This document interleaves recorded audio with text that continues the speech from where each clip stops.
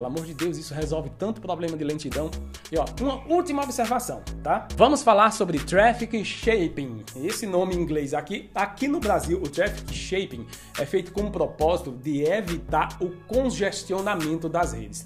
Os provedores, principalmente os menores, né, às vezes até os mais grandinhos, os maiorzinhos, né, seria o nome mais correto. O que é que eles fazem, né? Para evitar que todos os usuários sejam sobrecarregados em determinados momentos, eles usam esse negócio chamado traffic shaping. Mas quando isso acontece, claro, é comum que tenham reclamações, porque a velocidade vai ser reduzida para determinados usuários para poder ficar disponível para outros. Insatisfação, né, gente? Isso não pode, tá? Vamos falar a, a verdade aqui nesse vídeo, né? Sabe que eu tô trazendo para você as informações corretas, porque o Marco Civil da internet, ó, na lei número 12965, proíbe essa prática no Brasil, tá? Traffic shaping é proibido. Muitas operadoras fazem isso, mas é importante que vocês saibam que não é para fazer. Jeff, como é que eu descubro se eu estou num traffic shaping, né?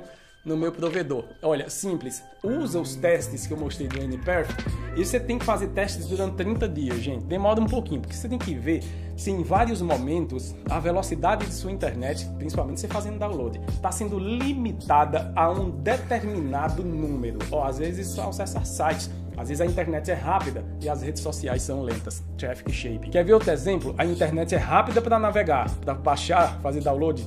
É super mega lento traffic shaping. Isso é proibido. Os provedores negam. Se você, sabe, confrontar, eles vão dizer que não é verdade. Mas tem muitos deles fazendo isso quem paga é você. Média velocidade. Tem que ter no mínimo aí entre 60% e 80% da velocidade contratada, tá? Segundo a Anatel. Então, se, sabe, em determinados momentos está dando sempre o mesmo ali em alguns sites, gente, troca de provedor e você pode inclusive tirar print e processar eles. Ó, essa foi a dica final, tá? Eu vou lembrar você que todos os dias aqui no canal JMS no Instagram estou compartilhando dicas super legais que podem te ajudar em seu dia a dia. Olha, para mais vídeos como esse, consulta a descrição do vídeo e a gente se vê como sempre no próximo vídeo aqui no YouTube. Espero que te ajude, né? Me conta depois se te ajudou a resolver o problema. Minha internet ficou super rápida. Ó, até logo então, um grande abraço. Tchau, tchau. Yeah.